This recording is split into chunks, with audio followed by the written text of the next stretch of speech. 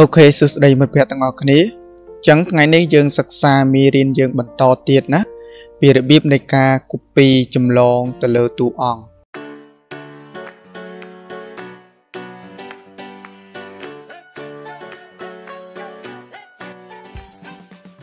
ដូច្នេះការពី part 1មេរៀនទី9យើងហ្នឹងគឺបងប្អូនបានសិក្សាហើយពីរបៀបនៃការ copy ចម្លងទៅលើទម្រង់មុខសក់អីជាដើមហ្នឹង ដូច្នេះការពីមេរៀន part 1គឺយើងបានសិក្សាពីរបៀបនៃការគូសចម្លងបានប៉ុណ្ណេះហើយណាអូខេឥឡូវមេរៀនទី9ដដែល part 2នេះគឺយើងនឹងសិក្សាបន្តទៀតពីរបៀបនៃការ copy ចម្លងតួអង្គរបស់គេហ្នឹងអញ្ចឹងតួអង្គបងប្អូនធ្វើការសារ៉េស្អាតអញ្ចឹងមកឯសារនេះខ្ញុំបានសារ៉េបន្ថែមទៅវានឹងឲ្យវាស្អាតចឹងមុនហើយតកតងតម្រង់មុខក៏ដូចជា មាត់អីផ្សេងផ្សេងអាហ្នឹងយើងឆ្នៃឲ្យធ្វើម៉េចឲ្យចេញជាបោះយើងណាអ្វីត្បិតតែយើងកុំពីចម្លងពីបោះគេប៉ុន្តែយើងមានគំនិតឆ្នៃប្រឌិតធ្វើម៉េចចេញជាតួអង្គរបស់យើងវិញណាអូខេឥឡូវយើងតួអង្គរបស់យើងយើងមិនតន់ដាក់អឺនេះគេហៅថាខ្សែចំណងចងសក់ឬក៏បូលហ្នឹងឥឡូវយើងដាក់សិនទៅណាណាយើងដាក់ឲ្យហើយសិនយើងមកកើត layer 1ហើយបងប្អូនយក pen tool មកមកគូសមក អូខេហើយខ្ញុំធ្វើការកុសខ្ញុំចាប់យកពីចំណុចនេះអូខេខ្ញុំយកពីចំណុចនេះមកដល់ចំណុចត្រង់នេះខ្ញុំផ្ដាច់មួយអាលឲ្យជាប់ហើយខ្ញុំយកប៉ុណ្នេះខ្ញុំទាញមកដល់នេះវិញហើយរាងកោងចេះអូខេ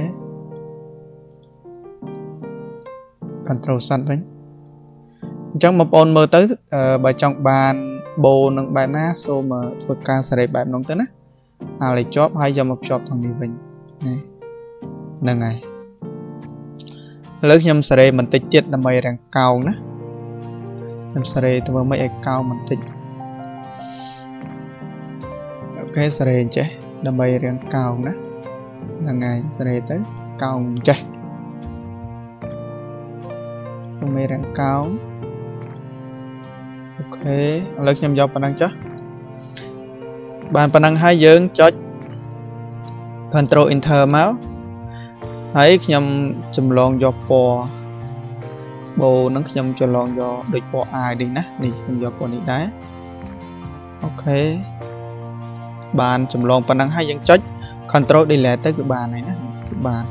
Control Alt D ដើម្បីដោះស្រាយអូខេឥឡូវប៉ុណ្ណឹងជាការស្រេចហើយគឺយើងមើលទៅអាចសមហើយណា អញ្ចឹងតម្រងសក់បងប្អូនសារ៉េធ្វើម៉េចឲ្យសមទៅណាទៅតាមអ្វីដែលយើងត្រូវការចង់បានអញ្ចឹងតនេះត្រជាយើងដាក់អឺគេហៅថាឲ្យថ្មីចេញជារន្ធត្រជាគឺបងប្អូនបានសិក្សាហើយអញ្ចឹងយើងមកកែ layer មួយទៀតយើងគូសធ្វើម៉េចចេញជាដូចរន្ធត្រជាមកអូខេយក pen tool មកគូសដដែលអញ្ចឹងសូមបងប្អូនយកចំណុចនេះមួយខ្ញុំគូសអញ្ចេះខ្ញុំគូម៉ូដថ្មីទៅប៉ានេះមួយ ខ្ញុំយកប៉ានេះខ្ញុំយកអញ្ចេះចេះហើយខ្ញុំយកអញ្ចេះអញ្ចឹងអឺផ្សាយលើការចង់បានឬក៏ឆ្នៃខ្លួនឯងថែមទៅណាហ្នឹងហើយបាទនេះវាយើងឆ្នៃទៅយើងធ្វើការបែបណាយើងឆ្នៃបែបនោះទៅមិនតម្រូវថាគូតាមនឹងទាំងអស់ទេដូច្នេះតួអង្គគេមួយមួយយើងធ្វើម៉េចគេហៅថា ឲ្យមានកំណត់ច្នៃប្រឌិតពីតួអង្គដែលយើង copy ចម្លងបើយើង copy ចម្លងរបស់គេបើយើងធ្វើទៅវាគេហៅថាមិនស្អាតឬក៏មិនដល់គេអាហ្នឹងវាមិនល្អទេអញ្ចឹងបើយើងជ្រុលតែ copy ចម្លងពីគេលំនាំគេយើងធ្វើម៉េចឲ្យចេញឲ្យចេញជាកំណត់របស់យើងឲ្យច្រើនហើយឲ្យល្អច្រើនជាងគេទៀតអាហ្នឹងបានល្អណាហ្នឹងហើយ okay ឥឡូវខ្ញុំយកប៉ុណ្ណេះចុះខ្ញុំចុច Control Enter ហើយខ្ញុំចាក់យកពណ៌ពណ៌ខ្មៅនេះ Control Delete Control Alt D ដោះ Select ហើយខ្ញុំបន្ថយ opacity វាសិនណានេះបន្ថយអញ្ចឹងមក okay ថយប៉ុណ្ណឹងមកហើយបងប្អូនធ្វើការសារ៉េមកដល់ប៉ុណ្នេះទៅ okay ឥឡូវប៉ុណ្ណឹងគឺខ្ញុំទទួលយកបានហើយអត់ជាបញ្ហាទេណាអញ្ចឹងមួយទៀតយើងត្រូវការដាក់ក្រវិល okay នេះក្រវិលអញ្ចឹងក្រវិលយើងអាចដាក់បានណាដូច្នេះយើងទៅ download មួយមក okay ទៅ download វា ក្រវិល ហើយនិងខ្សែកឥឡូវយើង download ទាំងពីរហ្នឹងឲ្យបានសិនមកណា okay យើងចូលទៅ website មួយមកបើកមួយមក okay យើងចូល website បាយលើគេនេះបាយ website ថា png3.com ណាអញ្ចឹងបងប្អូនវាយ website ហ្នឹងទៅវាយ website ប៉ុណ្ណឹងទៅ enter អូខេមកដល់ប៉ុណ្ណឹងសូមបងប្អូនធ្វើការ search ជាង search យក Gravel អឺ earring earring search ថា earring អញ្ចឹងទៅយើង search យក Gravel ណាយើងយកកន្លែង search ថងនេះអូខេហើយយើងមើលធ្វើការជ្រើសរើសទៅយើងមើលនេះក៏វល់ប៉ុន្តែខ្ញុំអត់យកម៉ូតនឹងទាញចុះមកក្រោមទៀត អូខេនេះសិតតែកវល់ប៉ុន្តែខ្ញុំមើលផ្សេងទៀតជ្រើសរើសអាណាឲ្យស្អាតណាហ្នឹងហើយយើងដាក់លើតួអង្គនឹងសិតតែកវល់ហើយណាអឺខ្ញុំមើលសិនមកយើងមិនឃើញទេពេលនេះក៏ស្អាតដែរចុចមើលសិនទៅយើងចុចលើមើលទៅហើយស្អាតទេយើងថយវិញគឺមកមើលម៉ូតផ្សេងអូខេមើលម៉ូតនេះ ម៉ូតនេះក៏ស្អាតមួយយ៉ាងដែរណាហ្នឹងហើយចូលអញ្ចឹងបងប្អូនត្រូវការម៉ូតណាក៏យកម៉ូតនឹងទៅអត់ជាបញ្ហាទេណាអញ្ចឹងខ្ញុំមើលសិនពីព្រោះខ្ញុំត្រូវការដាក់ធ្វើម៉េចឲ្យស្អាតជូនបងប្អូនណាអូខេមានសិតម៉ូតកវល់មើលមួយនេះសិនមើល មើលមួយនេះមើលមួយទៀតថយវិញមើលមួយនេះ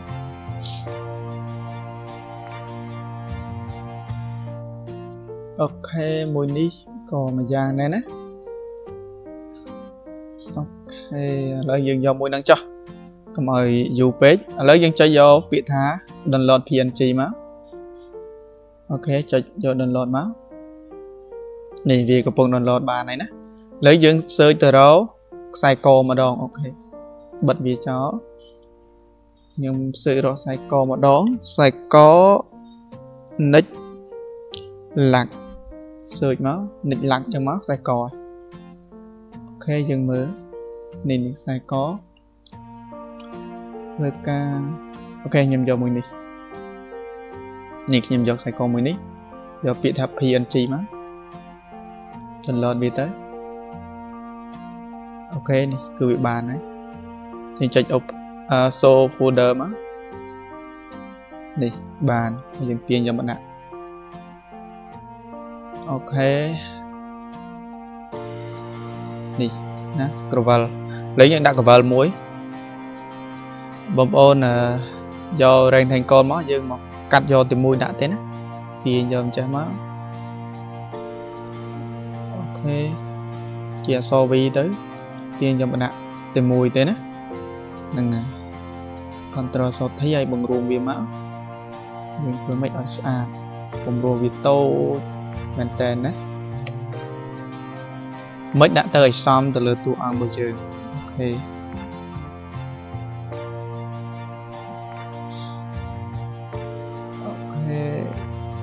ដាក់មើលប៉ុណ្ណឹងទៅអានេះវាជាការតបតែងទៅណា มันទោះបីជាយ៉ាងណាវាជាការតបតែងយើងទេហ្នឹងហើយ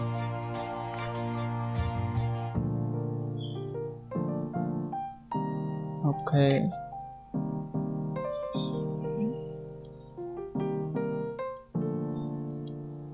ខ្ញុំទាញនេះដាក់លើចេះអូខេប៉ុណ្ណឹងទៅឥឡូវយកប៉ុណ្ណឹងចុះនឹងហើយបិទកវលហើយយកទាញខ្សែកយកមកដាក់ បិទខ្សែកអញ្ចឹងខ្សែកនេះយើងបង្រួមវាតូចតិចមកអញ្ចឹងនេះជាការតបតែងរបស់យើងណាអូខេយើងខ្សែកកវល់យើងដាក់តាមតម្រូវការរបស់យើងយើងមិនបាច់យកតាមគេទេណាអូខេបានប៉ុណ្ណឹងហើយមកស្រាំយកបាប់នេះមកហើយយើងទាញទៅយើងមិនបាច់ខ្វល់ទេ យើងទៅមិនទាញហើយត្រូវតាមតម្រងនៃតួអង្គរបស់យើងទៅអូខេទាញធ្វើម៉េចឲ្យត្រូវតាមតម្រងនៃតួអង្គរបស់យើងអញ្ចឹងយើងធ្វើការសេរីបើមើលវាមិនតាន់សូវសមយើងកាត់វាបន្ថែមតិចតួចទៀតបានអត់ជាបញ្ហាទេណាហ្នឹងណាយកប៉ុណ្ណឹងសិនហើយមើលទៅវាមិនតាន់សមត្រង់ណា យើងអាចអាចកាត់ចោលបានអត់ជាបញ្ហាទេណាឥឡូវខ្ញុំទាញវាមកលើប៉ុណ្ណេះតិចសិនខ្ញុំសេរីវាតិចទៀត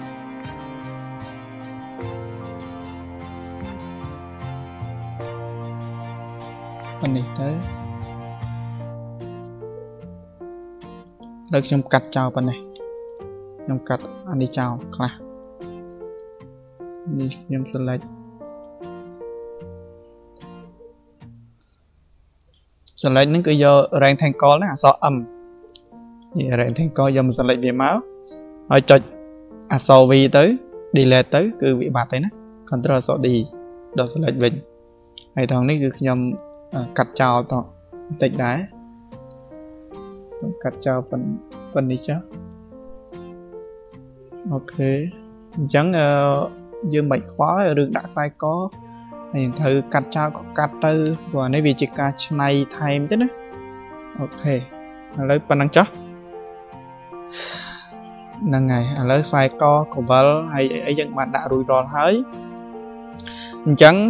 អ្វីដែលយើងធ្វើការបន្តទៀតយើងដាក់ដៃណាឥឡូវយើងកាត់ទៅលើតម្រងដៃដូច្នេះតម្រងដៃយើងមិនបាច់ copy ចម្លងពីគេទេយើងកាត់ខ្លួនឯងតែម្ដងទៅណាហ្នឹងហើយយើងបានសិក្សារួចហើយពីរបៀបនៃការកាត់ទៅលើតម្រងដៃអូខេឥឡូវខ្ញុំធ្វើការកាត់តែម្ដងអញ្ចឹងបង្កើត layer មួយហើយសូមធ្វើការអឺកាត់វាណាយកឧបករណ៍ pen tool មកកាត់មកហើយយើងធ្វើការកាត់សិនទៅយើងជប់អាចកាត់ដាក់តនេះយើងគ្រាន់កាត់ជាគំរូអញ្ចេះមួយសិនទៅអូខេអាលដើម្បីផ្ដាច់ប៉ុននេះមកអាលប៉ុននេះមក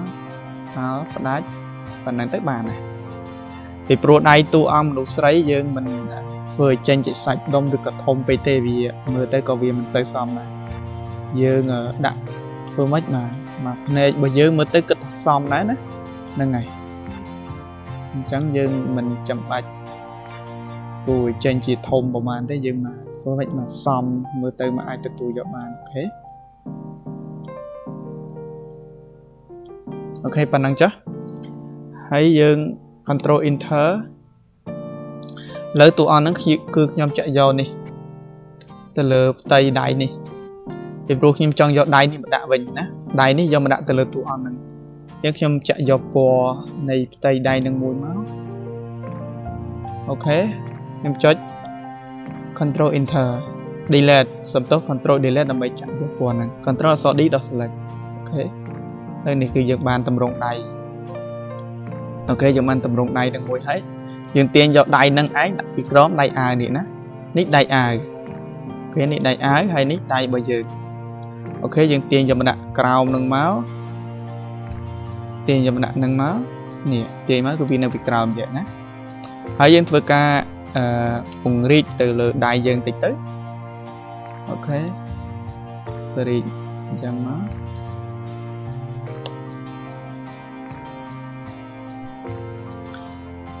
ង្រីកធ្វើម៉េចមកគេហៅថាមកតម្រូវការដែលយើងគិតថាសមអូខេបរិញតិចទៀតនេះទាញចូលយើងវិញ okay ខ្ញុំយកប៉ុណ្ណឹងទៅប៉ុណ្ណឹងចុះអញ្ចឹងមើលទៅមកសមខ្ញុំយកប៉ុណ្ណឹងចុះទៅប៉ុណ្ណេះ okay ខ្ញុំយកប៉ុណ្ណឹង ហើយយើងគូទៅលើតម្រងនៃកំពូលដៃនេះណាគូទៅលងតម្រងកំពូលដៃអញ្ចឹងយើងគូទៀតមកងាយងាយណា okay យើងចុចមកលើនេះមកបង្កើត layer មួយទៀតហើយយើងយកឧបករណ៍ pen tool មកកាត់ទៀតណាដូច្នេះយើងកាត់ទៅលើតម្រងដៃអូខេយើងកាត់ទៅលើតម្រងដៃយើងយកពីចំណុចនេះមួយចំណុចប៉ុណ្នេះចំណុចប៉ុណ្នេះ ខ្ញុំវត្តមកប៉ុណ្ណេះវិញអូខេអានេះនឹងចោះហើយធ្វើការសេរីវាអូខេយើងធ្វើការសេរីទៅតាមតម្រងនឹងទៅយើងចង់បានបែបណាគឺយើងសេរីបែបនោះទៅធ្វើការសេរីទៅអូខេ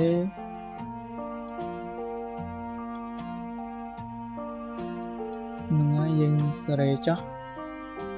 ចំណែកបងប្អូនត្រូវការបែបណាគិតថាសមមើលទៅមិនឆ្កងយកបែបនោះទៅហ្នឹងហើយមិនតម្រូវតាមខ្ញុំទាំងអស់ទេព្រោះនេះវាជាហៅថាតិចនិចក្នុងការកាត់យើងអាចមានកម្រិតផ្សេងផ្សេងពីគ្នាដែរណាវាមិនអាចដូចគ្នាទាំងស្រុងទេអូខេឥឡូវខ្ញុំចុះប៉ុណ្ណឹងចុះ control enter ហើយពណ៌គឺយើងយកដូចគ្នានេះណា control delete okay control អក្សរ D ដោះ select អញ្ចឹងគឺយើងបានតម្រង់ដៃមួយហ្នឹងហើយប៉ុន្តែមើលទៅវារឹងតូចណាតូចជាងដៃដើមដៃរបស់យើងអញ្ចឹងយើងពង្រីកវាតិចណា okay control បូកជាមួយនឹង T យើងពង្រីកវាអញ្ចឹងតិចណាធ្វើម៉េចមកសំណាធ្វើម៉េចមកសំខ្លួនឯង okay ខ្ញុំយកប៉ុណ្ណឹងហើយថងកន្លែងស្មៅនេះយើងខ្ញុំមិនទាន់ដាក់ទេខ្ញុំ ធ្វើម៉េចកាត់ឲ្យចេញជាទម្រង់ដៃហើយសិនហើយខ្ញុំដាក់អឺទៅលើដៃអញ្ចឹងដៃម្រាមដៃឬក៏ប្រអប់ដៃទាំងអស់ហ្នឹងគឺខ្ញុំយកមួយមកដាក់អូខេខ្ញុំមើលសិនខ្ញុំយកមួយនេះខ្ញុំយកមួយនេះចុះលើខ្ញុំកាត់វាដើម្បីកុំឲ្យប៉ះទៅលើប្រអប់ដៃគេផ្សេងផ្សេងនេះគឺខ្ញុំស្រឡាញ់យកតែប្រអប់ដៃមួយទេណា Control Enter ហើយយើងទាញអូខេនេះយើងឈរលើ layer នេះណាអូខេ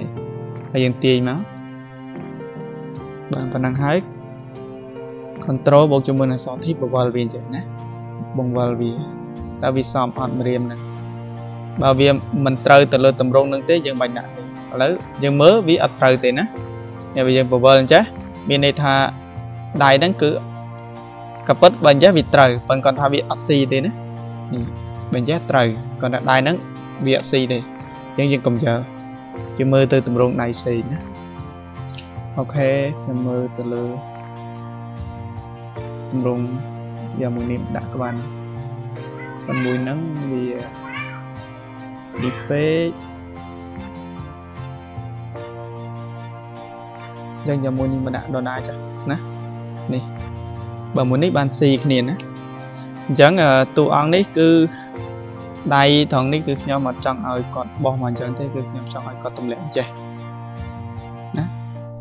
ដូច្នេះអាស្រ័យលើការចង់បានរបស់យើងនេះគឺខ្ញុំចង់ឲ្យគាត់តួអង្គនឹងទម្លាក់មកអញ្ចឹងណាប៉ុណ្ណេះ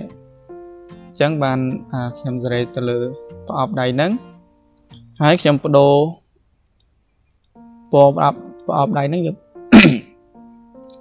យើងដូរពណ៌ទៅកាលនេះយើងបដូរពណ៌ត្រូវទៅតាមប្រអប់ដៃវិញណាអញ្ចឹងដើម្បី okay ដើម្បីត្រូវទៅតាមប្រអប់ដៃយើងត្រូវបដូរពណ៌នេះណាពណ៌កពួនដៃហើយនឹងដើមដៃរបស់យើងឲ្យត្រូវទៅតាមប្រអប់ដៃវិញ okay ខ្ញុំចាក់យកពណ៌នេះដែរដើម្បីឲ្យត្រូវគ្នាណាអញ្ចឹងបងប្អូនធ្វើការជ្រើសរើសទៅតាមប្រភេទនៃពណ៌ណាមួយដែលត្រូវការ ពេញចិត្តទៅលើតួអង្គរបស់យើងអត់ជាបញ្ហាទេរឿងជ្រើសរើសពណ៌នេះណាអូខេឥឡូវនេះគឺខ្ញុំជ្រើសរើសទៅត្រូវឲ្យត្រូវទៅតាមប្រអប់នៃតម្រងដៃរបស់ខ្ញុំអូខេហើយយើងធ្វើការសេរីឲ្យត្រូវអញ្ចឹងទៅនេះឃើញណាសេរីទៅមើលឲ្យឲ្យស្អាតមកអាចទទួលយកបានមកគិតថា ខ្លួនឯងទទួលយកបានណាណា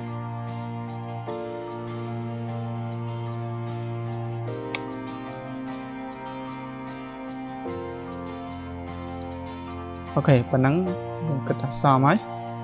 អញ្ចឹងខ្ញុំយកប៉ុណ្ណឹងចាស់ okay ខ្ញុំ save មួយសិនក្រែងលោវាបញ្ហាឥឡូវខ្ញុំអត់គូតម្រងនឹងទៀតទេខ្ញុំ copy តម្រងដៃនេះយកតែម្ដងណាខ្ញុំ copy ទាំងអស់ហ្នឹង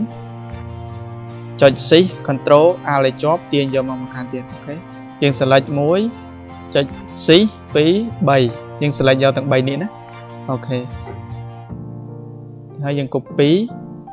ហើយ control បូកជាមួយនឹង shift tip បវល់វាមកនេះវិញណាបវល់មកចេះណាហ្នឹងហើយបើយើងអត់បវល់ក៏បានដែរប៉ុន្តែយើងត្រូវបើយើងមើលទៅគិតថាអញ្ចឹងសមយើងបាច់បវល់ទេណាយើងបវល់តែដៃនេះបានហើយអញ្ចឹងដាមដៃហើយនឹងកំពូលដៃ យើងបាច់បវល់ទេប៉ុន្តែយើងត្រូវទាញទាញនេះទាញកំពូលដៃនិងដើមដៃ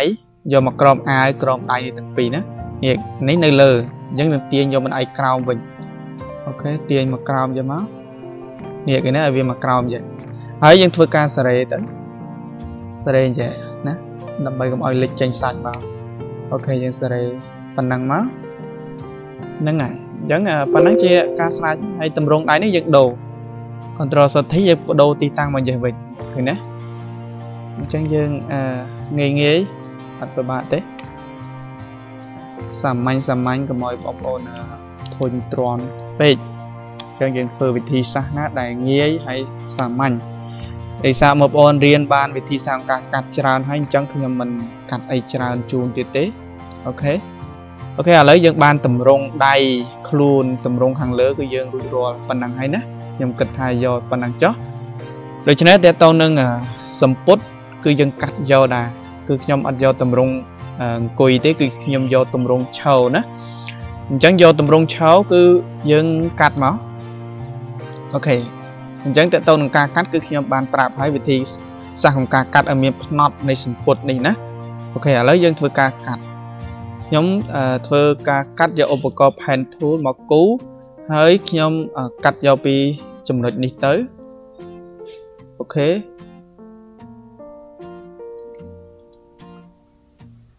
ខ្ញុំទាញមកប៉ុណ្នេះ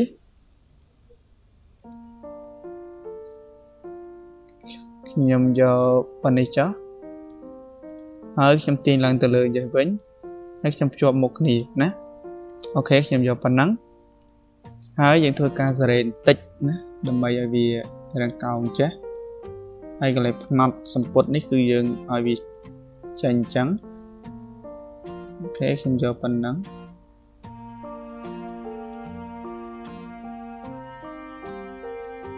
ហ្នឹងហើយខ្ញុំយកប៉ុណ្ណឹងចាស់ okay control enter ហើយយើងចាក់យកពណ៌សម្ពុតអញ្ចឹងសម្ពុតហ្នឹងយើងចាក់យកពណ៌អញ្ចឹងដូចគេទៅប៉ុន្តែយើងមកតួអង្គរបស់យើងយើងរាំងចាស់អញ្ចឹងបន្តិចណា okay ហើយ control delete គឺយើងបានតម្រង់សម្ពុតប៉ុណ្ណឹងណា okay អញ្ចឹងបើអាវរបស់យើងហើយនឹងសម្ពុតហ្នឹងគឺគឺមើលទៅវាវាគេហៅថាវាប្រហែលគ្នាពេកអញ្ចឹងសម្ពុតហ្នឹងយើងសារ៉េពណ៌ឲ្យរាងចាស់បន្តិចណាពេលប៉ុណ្នេះ control delete សាថ្មីឲ្យចាស់និយាយតិចទៅណា okay ឬក៏បងប្អូនចង់ឲ្យឆ្លាស់គ្នាចេះក៏បានដែរ តែយកសម្ពុតនឹងពណ៌ស្រាលចេះវិញមកក៏បានដែរណាហ្នឹងហើយយកសម្ពុតនឹងស្រាលប៉ុណ្ណេះមក okay ថយវិញយកសម្ពុតរាងស្រាលអញ្ចឹងទៅឲ្យអាវរាងយោះទៅក៏ក៏បានដែរណាអត់ជាបញ្ហាទេអូខេឥឡូវអាស្រ័យលើការចង់បានអញ្ចឹងយើងទាញសម្ពុតនឹងនៅក្រោមអាវនេះណានៅក្រោមចេះហើយក្រោមអញ្ចឹងមកហើយយើងធ្វើការកាត់មួយទៀតសិនអូខេយើងកាត់មួយទៀតឲ្យបានសិនមកបង្កើត layer ហើយយើងយក pen tool មកកាត់បន្តទៀតហ្នឹងហើយខ្ញុំកាត់ពីត្រឹមនេះខ្ញុំទម្លាក់មកត្រឹមនេះហើយខ្ញុំយកត្រឹមនេះ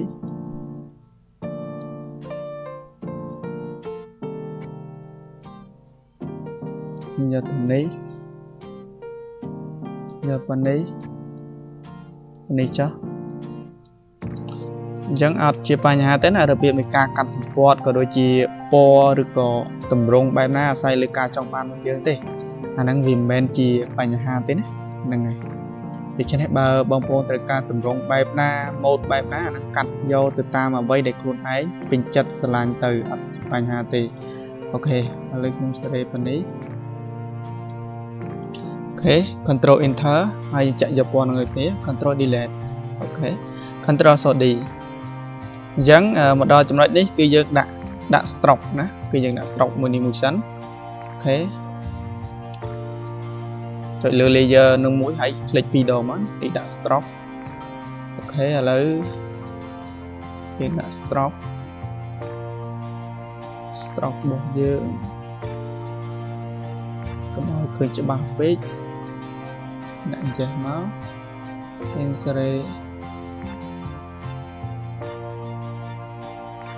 ត្រឹម10ទៅហើយយើងទាញអានេះមកលើសម្ពុតខាងនេះណាសម្ពុតនេះនៅក្រោមនេះយើងទាញអានឹងដាក់ក្រោមចេះដើម្បីឃើញផ្នត់យ៉ាងមួយនេះក៏យើងដាក់ stroke ដែរណាអូខេយើងដាក់ទៅ2មកហើយយើងคลิกអញ្ចឹងមកគឺវាបានដូចគ្នាហើយអូខេ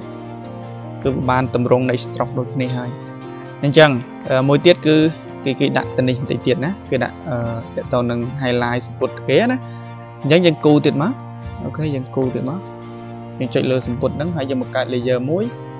ហើយបងប្អូនយក pen tool មកមកកាត់ទៀតមកហ្នឹងហើយហើយយើងកាត់ទៅលើតម្រង់នឹងអញ្ចឹងទៅតាមដែលបងប្អូនត្រូវការចង់បានទៅណាអូខេខ្ញុំយកប៉ុណ្នេះប៉ុណ្នេះ នេះទៅអូខេប៉ុណ្ណឹងចាស់សេរីបន្តិចទៀតទៅ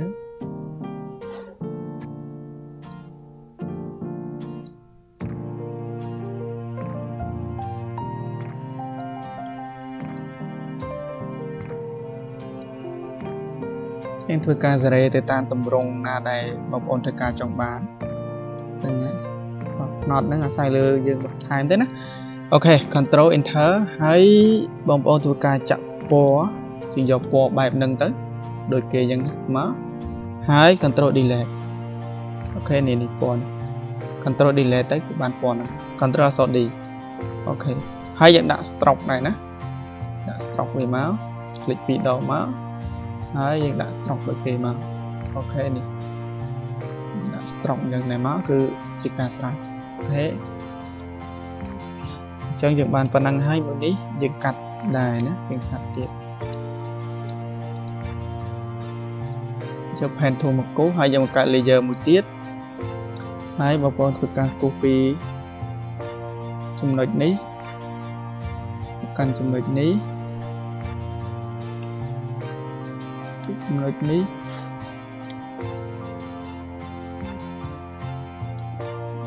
កាន់ចំណុចនេះអូ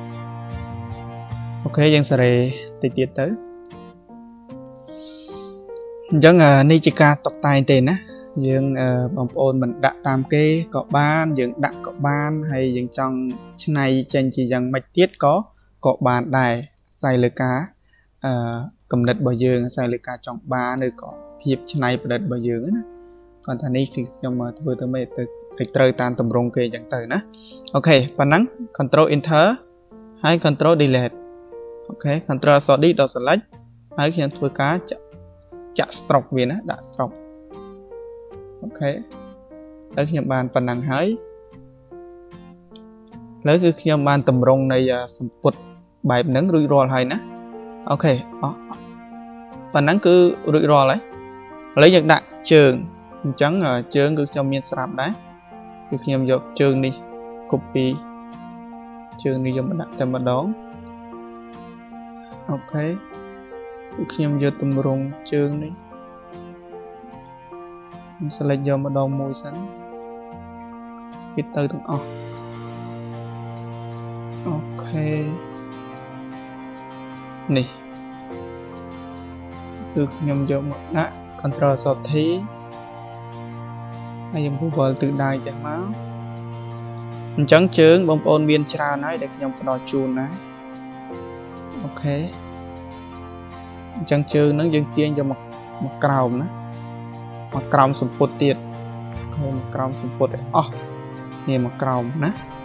ប៉ុន្តែជើងហ្នឹងយើងដាក់បដូរទៅពណ៌ផ្សេងណាបដូរអត់យកពណ៌ហ្នឹងទេគឺយើងយកពណ៌តែមិនទៅដូចតម្រងដៃណាវាណាចាទៅវាដូចតម្រងដៃហើយអូខេហើយយើងលុបមួយនឹងចោលសិន យើងយកតម្រងនេះយកមកដាក់ទៀតអូខេយើងបដូរទិសដៅវាដែរប៉ុណ្នេះទាញឲ្យធំបន្តិចមក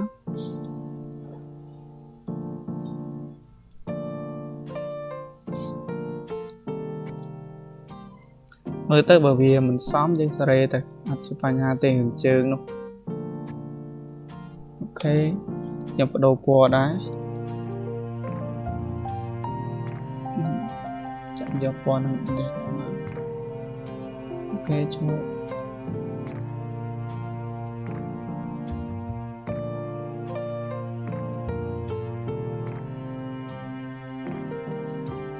បដូរទិសដៅបើយ៉ាតិចហើយនេះយើងចាក់យកពណ៌ជើងនេះហ្នឹងហើយហើយបងប្អូនធ្វើការដូរទៅ ចាក់យកពណ៌នេះដូចគ្នាអូខេហើយជើងនេះយើងវាធំជាងនេះរួមឲ្យតូចតិចណាប៉ុណ្ណេះទៅអញ្ចឹងជើងដែលយើងមានស្រាប់ស្រាប់ច្រើនហ្នឹងអត់ជាបញ្ហាទេគាត់ទេហើយខ្ញុំធ្វើការដាក់ជើងផ្សេងទៀតទៅដើម្បីឲ្យវាប្លែកទៅលើតួអង្គរបស់យើងខ្លះ អូខេ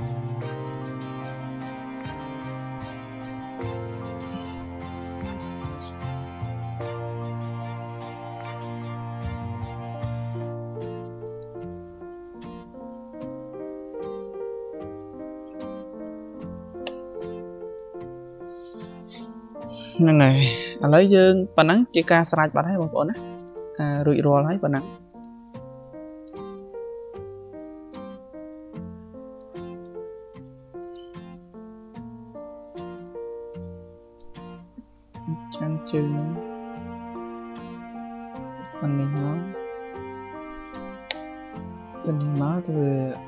ឲ្យមកសមណា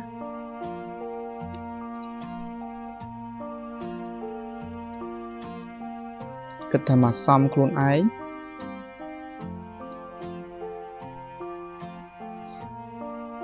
ហ្នឹងហើយអូខេប៉ុណ្ណឹងចាឥឡូវយើងបានបាត់ហើយឃើញទេអញ្ចឹងតួអង្គរបស់យើងគឺរួចរាល់ប៉ុណ្ណឹង នេះជាតួអង្គដែលយើង copy ចម្លងណាគឺបានប៉ុណ្ណឹងហើយរួចរាល់បានហើយប៉ុណ្ណឹងណាអូខេយើងសេរីខ្ញុំពុតនឹងឲ្យចេះតិចណានេះប៉ុណ្ណេះទៅក៏បានដែរពីនេះយើងយើងរួចរាល់ហើយប៉ុណ្ណានេះរួចរាល់ហើយតួអង្គដែរយើង copy ចម្លង ហើយតួអង្គនេះទៀតគឺយើងកាយទៅលើតួអង្គហ្នឹងក៏បានដែរណាយើងធ្វើតែមួយអញ្ចឹងទៅក៏បានដែរហ្នឹងហើយសំខាន់គឺខ្ញុំផ្ដល់យោបល់ថាឲ្យមានគេថាគំនិតច្នៃប្រឌិតទៅលើតួអង្គហ្នឹងឲ្យចេញជារូបរាងមួយ ដែលយើងគេហៅថាចេញជារូបរាងនៃតួអង្គរបស់យើងយើងអាមិនចាំបាច់ទៅគប់ពីចម្លងពីគេ100%ទេណាសំខាន់យើងបានតម្រង់មុខហាក់ប្រហែលគេហើយតួអង្គយើង មើលទៅគឺមានភាពស្រស់ស្អាតហើយណាគឺប៉ុណ្ណឹងបងប្អូនយកធ្វើចលនាដាក់ឆ្អឹងឲ្យបានហើយណាសំខាន់បងប្អូនដាក់ទៅលើ layer មួយមួយទៅសេបានត្រឹមត្រូវទៅអូខេហើយប៉ុណ្ណឹងបងប្អូនធ្វើការ save ទៅ save ទុកតួអង្គនឹងមួយទៅ save ទុកតួអង្គដាក់ទីតាំងណាមួយទៅនេះរបស់ខ្ញុំ save ហើយប៉ុណ្ណឹងទៅបានហើយណាគឺខ្ញុំ save ប៉ុណ្ណឹងហើយជាការស្រាច់ហើយ អូខេនេះជារបៀបនៃការ copy ចម្លងតួអង្គរបស់យើង តាំងពី part 1ហើយនឹងចូល part 2នេះគឺដល់ពេលបញ្ចប់ហើយដូច្នេះសង្ឃឹមថាបងប្អូនទាំងអស់គ្នានឹងយល់ពីរបៀបនៃការ copy ចម្លងទៅលើតួអង្គនឹងអញ្ចឹងតកតទៅនឹងការដាក់សមោនៃដៃថងនេះបងប្អូនបានចេះហើយគឺខ្ញុំមិនដាក់បន្ថែមទៀតទេហ្នឹងហើយបងប្អូនចេះហើយថងហ្នឹង